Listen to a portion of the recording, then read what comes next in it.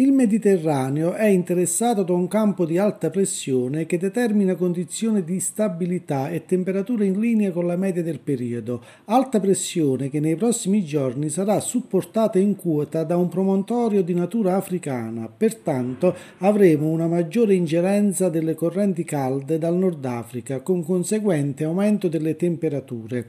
Il flusso di correnti umide scorrerà oltre Alpe e interesserà solo marginalmente le nostre nostre regioni più settentrionali.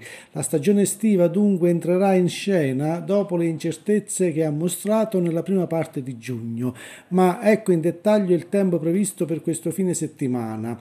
Le giornate di sabato e domenica saranno pressoché identiche e possiamo sintetizzarle con una sola cartina.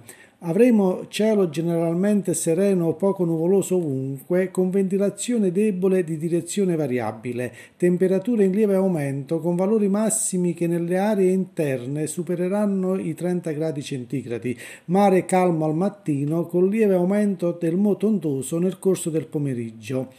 Nei primi giorni della prossima settimana l'alta pressione tenderà a rinforzarsi ulteriormente con un promontorio in quota in espansione verso le nostre regioni meridionali. Caldo in aumento e tempo stabile ci accompagneranno per l'intera prossima settimana con AFA in accentuazione tra mercoledì 1 e venerdì 3 luglio ma per maggiori dettagli invito come sempre i telespettatori a consultare i prossimi aggiornamenti che verranno pubblicati sul sito www.meteo7.it.